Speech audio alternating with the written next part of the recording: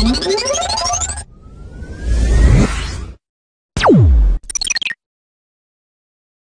दोस्तों एनबॉली मीडिया में आपका स्वागत है।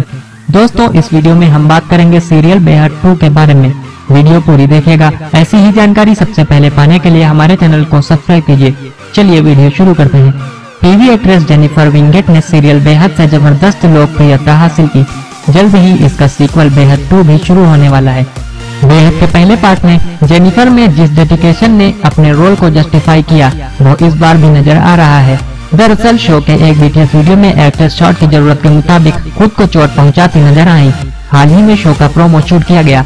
इस दौरान शॉट को परफेक्ट बनाने के लिए एक्ट्रेस खुद को चोट पहुँचाने से भी नहीं कतराई।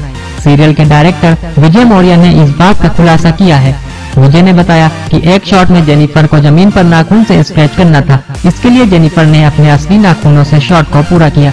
उनके नाखूनों को काफ़ी चोट भी लगी।